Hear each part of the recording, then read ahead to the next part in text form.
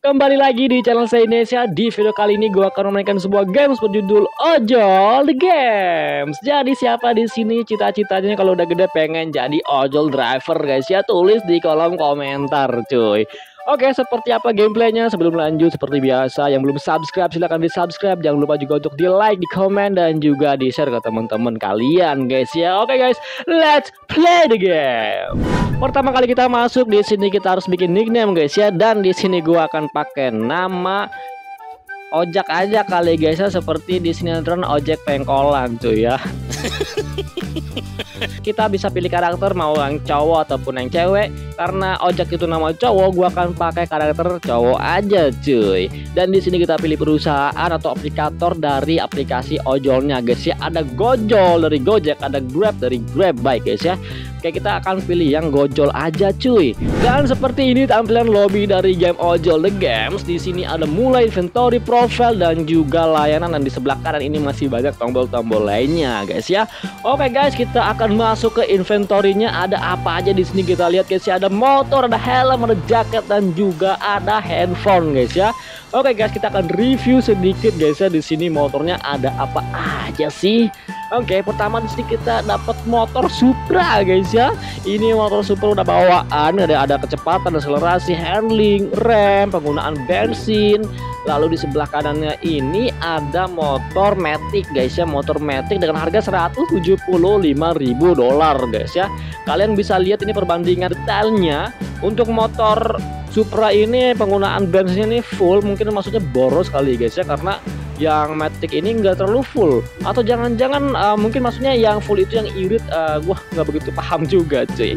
Oke lanjut lagi di sini ada motor Matic merah. Ini kayak motor Cina guys ya. Lalu di bawah sini ada motor Vespa dan di sebelahnya ada motor Ninja dengan harga 575.000 dolar guys. Mahal banget guys ya di bawah motor ada helm guys. Untuk helm bawaan ada helm half face. Lalu di sini sisanya itu helm full face semua guys ya. Ada satu ini helm half face juga.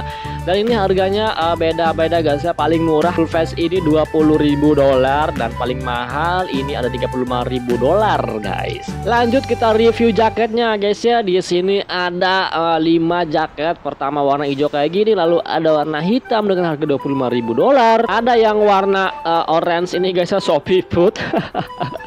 ada yang warna kuning dan juga warna hijau. Ini gua bedanya apa cuy?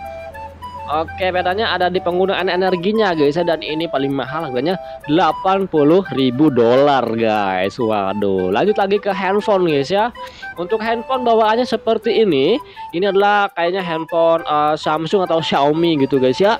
Lalu uh, di sini ada spesifikasinya guys. Uh, RAM-nya 512 dan uh, single core 1 GHz GSM dan loadingnya itu 4 detik dan peta di layar itu X berarti nggak ada peta di layarnya guys ya mungkin maksudnya uh, kita harus uh, ngebuka HP terus biar ada petanya. Apakah seperti itu, guys? Mari kita cari tahu nanti, guys ya.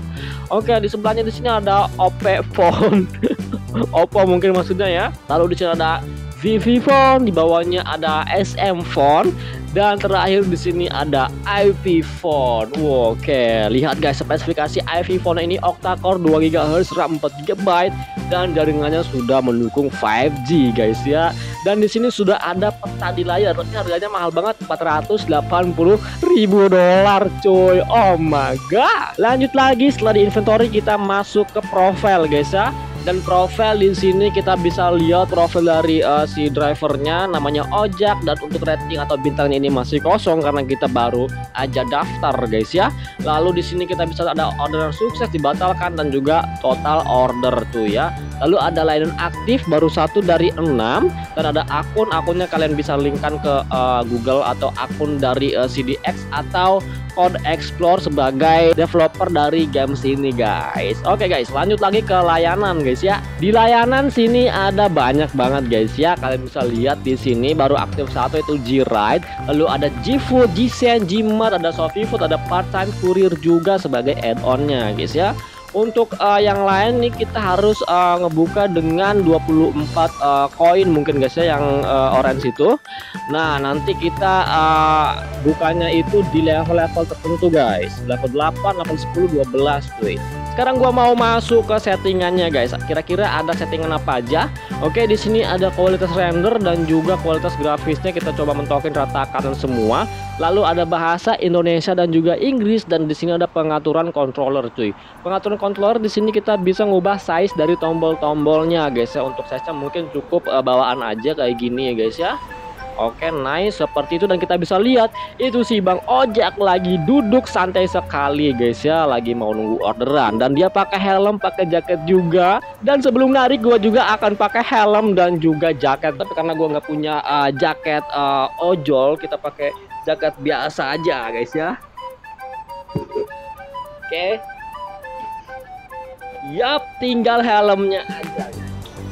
Nah ini dia guys ya. Safety first cuy. Jangan lupa pakai helm guys. Nice. Dan jangan lupa untuk diklik ininya dipasang seperti ini guys. Oke mantap sekali guys ya. Sekarang gua udah siap narik orderan sebagai seorang ojek online Oke guys seperti ini tampilan si Bang Ojek guys ya. Kalian bisa lihat gimana realistis sekali atau tidak cuy. Tapi ini uh, gua nggak tahu kenapa kayaknya agak gelap guys ya untuk pencahayaannya. Dan ini titik spawn kita dan ini motor Supra kita guys. Langsung aja coba kita naikin motornya. Dan di sini ada HP-nya kita lihat dulu guys ya apakah ada orderan masuk atau belum guys.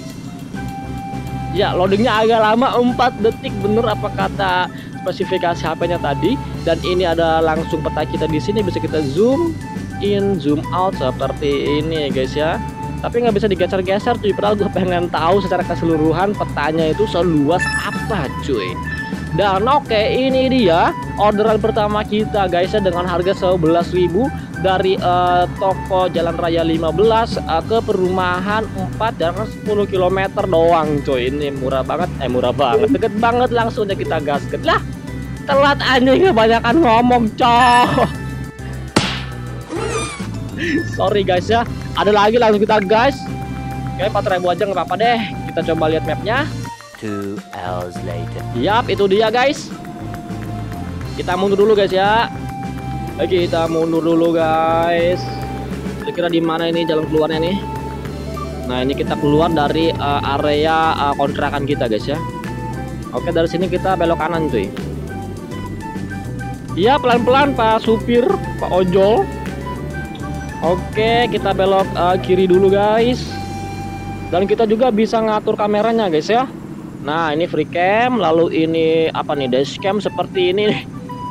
mirip banget saat kita menggunakan kendaraan motor ini guys ya oke di depan ada lampu merah lagi merah cuy merah cuy merah cuy kita harus menaati peraturan lalu lintas guys ya karena ini masih merah belum hijau jadi woi jadi kita uh, berhenti dulu sini. Gak kelihatan anjir. Eh harusnya di sini ada tombol ngerem sih soalnya kalau mundur dia bakalan mundur anjir. Oke udah hijau. Ayo kita belok kanan. Oh my god nabrak. Oke di depan ada mobil motor juga lumayan ramai guys. Ada angkot juga itu guys. Oke be careful kita bisa ngebut gak sih? Nice seperti ini. Ya suaranya coba kita klakson. Oke seperti itu pelan-pelan guys nah ini aduh sorry guys gua kayaknya kurang terbiasa karena nggak ada tombol uh, remnya ini ngerem tapi bukan ngerem sih tapi jalan mundur guys ya lanjut lagi guys ke depan lagi dia mau belok oh my god Oke, be careful nabrak, cok. Sorry, Bang. Banyak anjir. Sorry guys ya, jangan ditiru guys ya. Kalian aduh. Kebanyakan ngomong anjir. Kalian kalau menggunakan motor jangan seperti ini guys ya. Ini contoh yang buruk, jangan ditiru guys. Oke, kita lanjut lagi cuy. Jangan ke trotoar. Lanjut lagi guys ya. Kita lanjut lagi. Ini kita terabas aja boleh nggak sih? Nabrak tuh kan. Oh my god. Udah hijau. Oke, sorry guys, kayaknya gua nggak bisa menaati peraturan di sini karena agak ribet guys ya. Tombol rem kagak ada dan kele kita kelewatan tuh kan. Oke, sorry, sorry, sorry, sorry, sorry, sorry. Kebanyakan ngomong jadi kagak fokus. Kita harus fokus dulu guys. Tadi ada belokan kelewat cuy. Nah ini dia belokannya kecil banget, yang kecil guys. Oke, tombol beloknya itu agak terlalu uh, over kalau kata gua guys ya. Belokannya terlalu tajam, bukan tajam sih. Padahal gua udah uh, lepas tombol beloknya tapi masih belok aja cuy. Oke, lanjut lagi. ah ini dia ah udah sampai kita klik tombol klakson nah itu dia dia langsung menghampiri kita dan jalan jalan dulu dong jauh deh jalannya oke udah naik yuk kita lanjut guys ya Oke, kita lanjut guys, pelan-pelan harusnya guys. Tapi nggak tahu kenapa nih. Mungkin uh, si ojek ini masih baru guys ya, bisa pakai motornya, jadi ya agak ugal-ugalan seperti ini. Oke, oh maga. Nabrak trotoar lagi. Jangan ditiru guys. Ya, itu buruk banget cuy. Oke belok, eh, bukan bukan. belok tadi depan anjir, bukan di yang kecil. Oke lanjut lagi. Nabrak. Bodoh amat guys ya. Kalau ini barbar banget tukang ojolnya. Lanjut lagi coy Di depan kita nanti belok kiri guys. Itu uh, tujuan dia cuy. Oke. Lampu merah pertama Nah itu dia udah kelihatan titik hijaunya. Iya pelan-pelan pak supir ya. Kita udah mau sampai nih. Nah ini dia tujuan si uh, customer kita guys. Dan ya loadingnya agak lama. Kita selesaikan orderan. Nice. Dan di sini kalian bisa menggandakan uh, pendapatan kalian dengan cara nonton iklan cuy. Jadi dari 4000 jadi 8000 lumayan banget tapi ya kita skip aja kali guys ya oke ke mana lagi cuy? Masih belum ada orderan baru lagi. Ini belum gacor nih. Oke hati-hati pak supir. Kita lihat-lihat dulu gak sih. Bangunan-bangunan di sini cuy. Oke kita turun dulu guys ya. Oke guys kita lihat sekeliling dulu guys ya bentaran. Nah seperti ini ada toko-toko dan bangun-bangunan yang lainnya. Bisa dibilang lumayan kompleks juga mapnya. Oke ada orderan. Ya orderannya ke cancel Udah ada ngambil gitu Terlalu lama guys jadi kalau ada orderan masuk jangan dicuekin gitu aja Oke 11.000 kita terima Buka mapnya dulu ini HP-nya asli dah, lama banget cuy. Oke, kita naik motor dulu guys ya. Kita putar balik.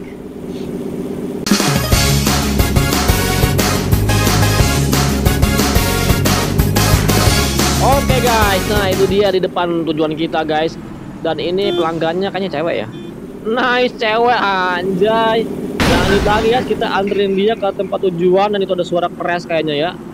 Setiap kita uh, nabrak uh, bukan jalan gitu ya kayak trotoar tadi atau apalah ada keresnya oke kita belok kiri ada polisi lagi untungnya kita walaupun nabrak di sini nggak ditilang guys ya karena cuma game jadi untuk di dunia nyata jangan dicoba-coba guys nanti kalian bakalan diamuk masa cuy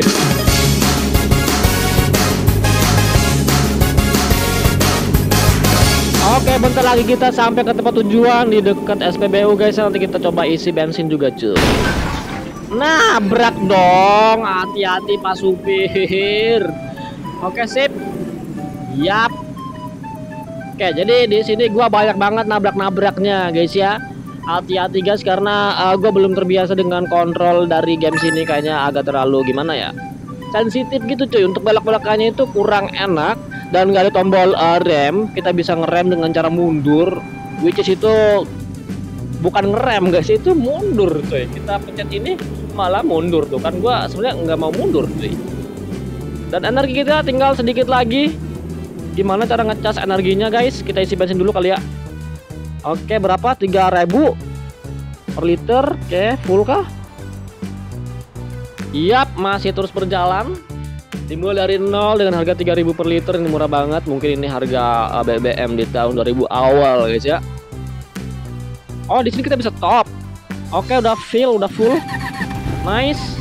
Sudah full tapi di sini energi kita tinggal sedikit guys. Coba kita uh, navigasi ke ini guys nih. Ada di situ guys ya. Ini tombol apa nih? Oke kita coba navigasi ke energi guys. Nice. Kita langsung diarahkan rutenya guys ya.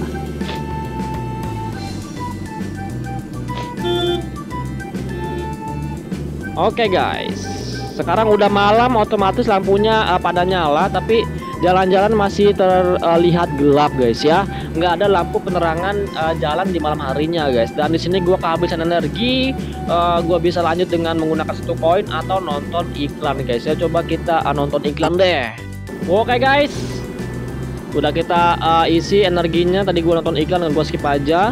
Dan cuma nambah sedikit cuy. Ini nggak sampai 50% dan ini kita diarahin ke mana sih? Kayak kita belok kiri dulu guys ya. Perumahan-perumahan. Ada gedung-gedung besar perkantoran juga cuy.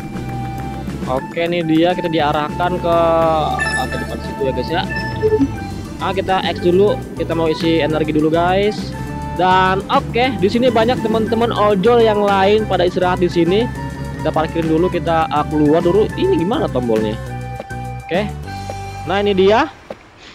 Oh kayaknya kita harus berdiri di sini guys. Kita harus berdiri di dalam lingkaran uh, energi ini. Dan kalau kita uh, keluar, tuh, dia nggak ngecas cuy. Energinya nggak nambah. Oke, ini kita kayak lagi ngecas HP guys ya. Kita nggak bisa ke mana-mana. Ini kayak kayak colokannya gitu lah guys ya. sekarang kita energinya sudah full guys ya. Tapi ini membutuhkan waktu yang sangat lama cuy. Ini sekarang sudah jam 23.40an Dan tadi kita mulai sekitar jam berapa? Gue lupa Mungkin uh, sebelum jam 7 atau mungkin jam 6an guys ya. Wah agak lupa juga cuy. Nanti kalian coba diputar balik dulu uh, videonya. Lihat dulu berapa itu. Ini lama banget cuy gua nungguin ini lama banget. Makanya gua percepat aja tadi guys ya Oke dan di sini kita bisa lihat banyak banget ojek online yang pada uh, istirahat di sini guys di Korean Food ini. Ada yang nongkrong seperti ini, ada yang pada duduk tapi kagak ada yang pada beli makan, coy. Oke guys, sekarang sudah jam 12 malam guys ya. Mungkin saatnya kita tidur dan uh, mungkin cukup untuk video kali ini guys ya. Ojol the game. Gimana kalian suka atau enggak games Ojol the games ini? Kalau kalian suka langsung aja download di Play Store dan kalau video di RAM nanti kita akan bikin lanjutannya yaitu tentang uh, layanan yang lainnya seperti uh, Gsen, Gmart, G, dan kurir-kurir, uh, Shopee Food. Oke guys, gitu aja dulu kali guys ya. Sampai ketemu lagi di video yang akan datang. Jangan lupa untuk like, subscribe, comment, dan share. And see ya.